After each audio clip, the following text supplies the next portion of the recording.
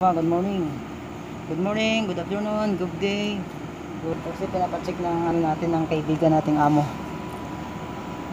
Ah, nagyayelo daw sa loob. Kaya check natin mga kapwa. Titignan natin yung pressure niya. Yung charging freon. Yung charging freon kung anong status. Tama pa ba yung freon niya? Tama pa yung pressure niya?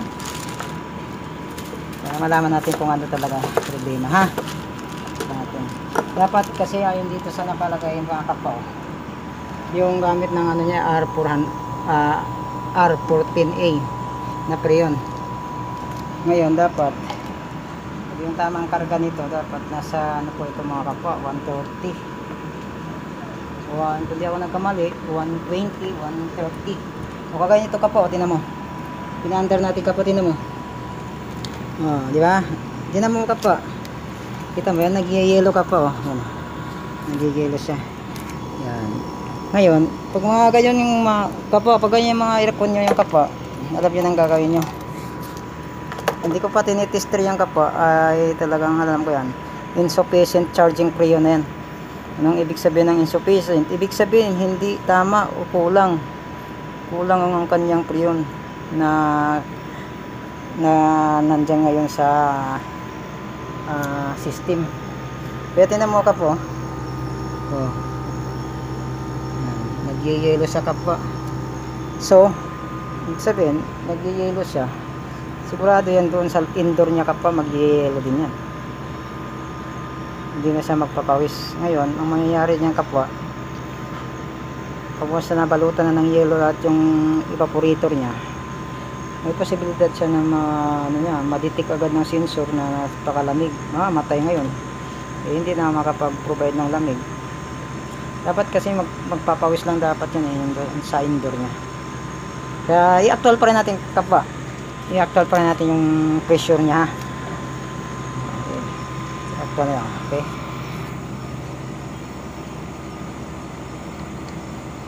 Okay.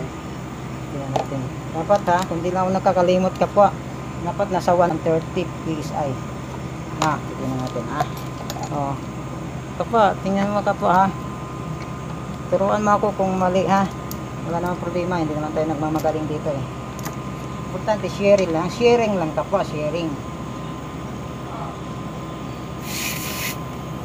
Okay. Kapwa, tingnan mo. Shot. Hmm. Nakita mo kapwa? Hmm, kulang na kulang ka pa. Nasa 60 lang ka pa, 60 PS PSI. Na dapat total eh nasa 30 yan eh. 30 or 20 PSI. Eh ngayon no. Diba ka pa? Klarong klaro. Kitang-kita ang ebidensya. Kitang-kita mga kapwa na. Ganun dapat mga kapwa. Dapat may all around ka, may kunti kang alam hindi naman tayo expert dito. O LG sa kapo oh. Ah, alam ko nasa to. 2 horsepower yata to pa po 2.5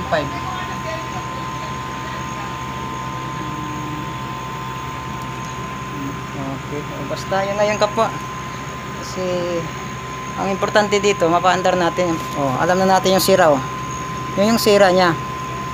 Kulang ng pressure insufficient charging preyon. Sabi kulang yung pressure niya na dapat ayon doon sa standard ay nasa 230 ay 130 na PSI. Okay? Kapo, nagiyelo talaga siya kapo. Oh, nagiyelo talaga siya kapo. Tingnan mo. Oh, oh. Oh, nagiyelo. Oh. Okay. Alam mo na kapo anong gagawin natin. Dadagdagan natin ang preyon. Ang problema, i-check lang ito wala akong preyon dala. I'll share return I'll share return wag kang umalis dyan. Babalikan kita. Bang bang bang bang bang bang. Bang bang bang bang bang bang. MacArton MacArt MacArton parang MacArton MacArton MacArton I'll share return hindi pabalikan natin ito kapa kaso lang mag-usap pa kami ng kaibigang may-ari dito kasi balak nilang lumipat ng bahay May papakala sa atin to. I-reinstall na naman natin to. Dismantling, tapos installation na naman. Pira, pira na naman to kapwa.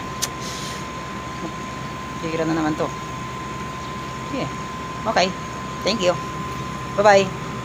Dapat all around ka. All around, all around, all around, all around, all around, all around. All around ka dapat kapwa. Okay, bye-bye.